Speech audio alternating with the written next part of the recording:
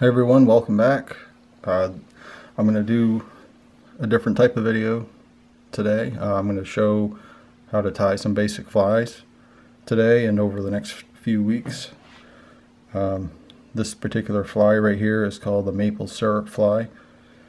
It uh, It's a original fly for the state of Maine and I'll put more information about it in the description in the video and I'm going to show you how to tie it. It's a pretty easy fly to tie and it won't take you long at all. The reason why I uh, decided to do some of these is uh, fly tyings are a pretty fun hobby to take up, especially during the winter time.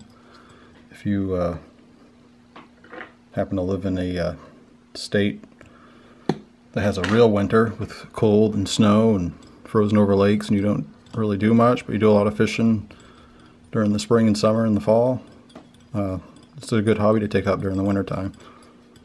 And I'm hoping this maybe will introduce some people to the uh, to the hobby. So anyway, I'm using some tan thread. You can uh, could also use black for a tail. You use uh, yellow kip tail. You just tie it on here at the end. Fingers are a little rough.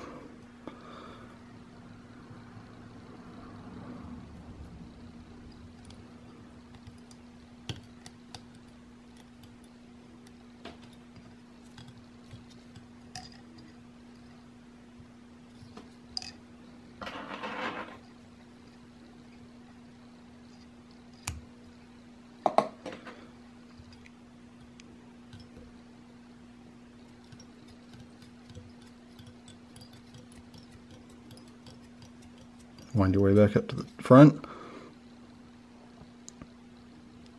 Some loose pieces off there. Next you want to take some uh, some tan chenille. The stuff I'm using is uh, they consider it fine. I usually like to go with something that's a little thicker.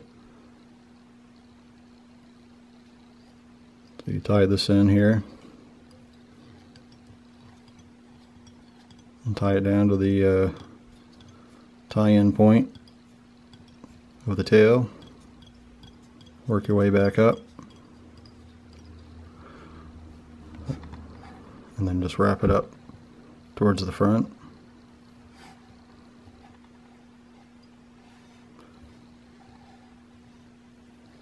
I don't know if there's any other videos out there doing this particular fly, but like with any fly, if you look it up on YouTube.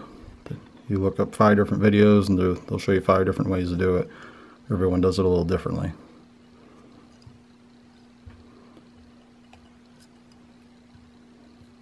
And believe it or not, that's about it right there. Just tying a nice little head.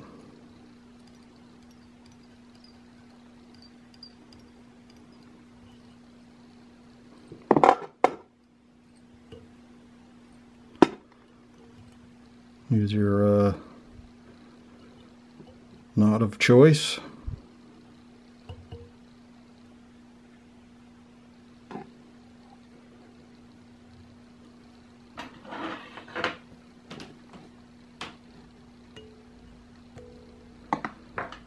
Just like that, it's done. You put on a little head cement.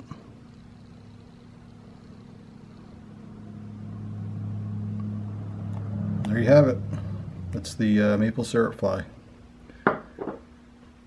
You can uh, also substitute um, yellow hackle for the tail. Some of the stuff right here. Pinch a little bit of it off and use it for a tail. That works pretty well too. So anyway, there it is. Thanks for watching. Check out my other videos. I do a lot of uh, fishing videos and uh, other outdoor type stuff. So subscribe. Thanks for watching.